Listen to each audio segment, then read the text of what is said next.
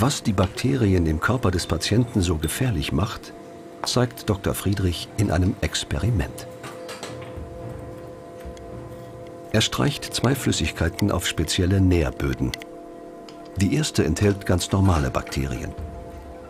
Die zweite dagegen ist voller Bakterien, wie sie bei Harz vorkommen. Dann drückt er Papierplättchen auf die Keime.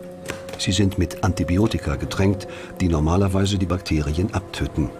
Antibiotika wie Penicillin. Doch nach 48 Stunden wird klar, die Antibiotikaplättchen haben nur bei den Keimen in dem linken Schälchen gewirkt.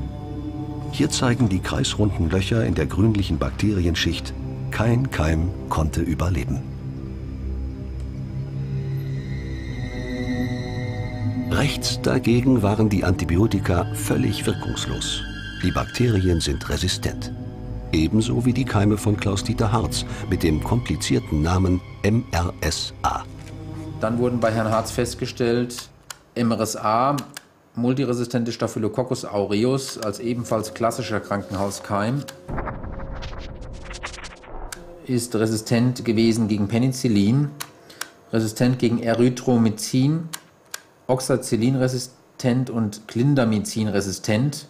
Klaus-Dieter Harz hat einen MRSA-Keim im Körper, der gegen ganz besonders viele Antibiotika völlig resistent ist. Mit fatalen Folgen.